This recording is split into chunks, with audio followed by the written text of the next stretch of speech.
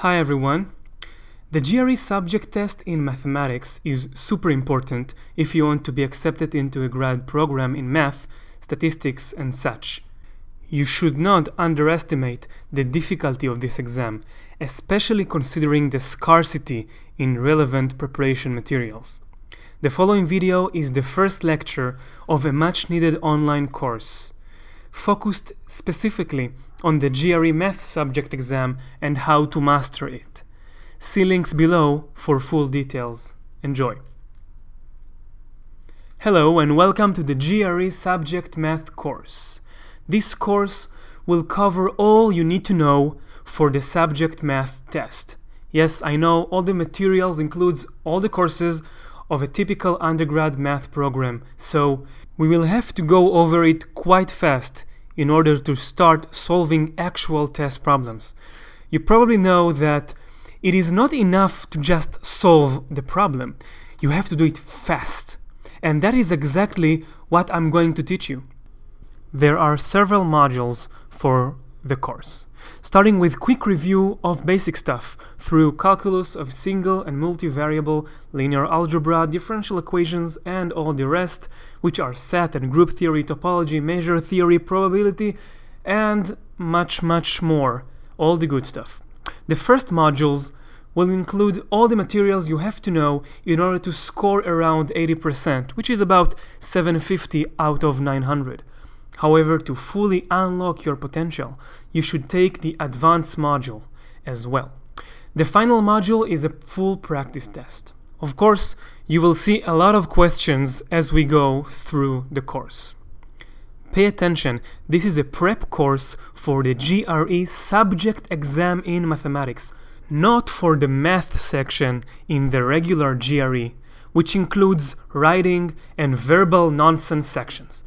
If you never heard about the mean value theorem, you are probably in the wrong place. However, if you are applying for a math grad program or statistics or such, you, you are exactly in the right place. See the FAQ for more info.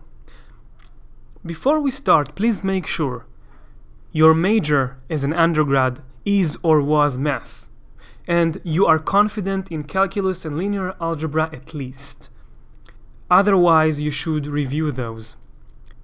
Familiarize yourself with the test structure and read all the info from ETS if you haven't done so already. Now for the advanced checklist. Make sure you have good number 2 pencils and small enough eraser. You would need those in the test itself to fill the answer sheet that is going to be scanned and it is a good practice to get used to work with the same pencil and eraser. By the way, don't count on the pencils that you will get from the staff of ETS during the test to be any good. Those pencils will break and you will lose time and focus. Also, get used to work on blank sheets of paper, as it will be in the actual exam.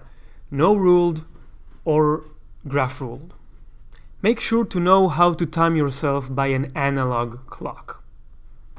And of course, I hope you have a lot of motivation. The test will have 66 questions in 170 minutes. That's approximately two and a half minutes per question. Very little time. That is why you have to practice. You are a math major, so most of the questions are easy if you have the time. You have to learn tricks in order to work fast enough. The questions are multiple choice. You would have to fight the urge to prove to yourself everything and start to rely on the intuition that we will together develop uh, through the course. Notice the penalty for wrong answers, so guess with caution. The scores are normalized to a curve. For example, it is possible to get a perfect 900 out of 900 with 63 correct answers and 3 mistakes. Finally, all questions weigh the same, so skip the ones you struggle with. Okay, enough talking, let's start the real deal. That was the first lecture. See details below about the entire course. Feel free to comment and good luck in the exam.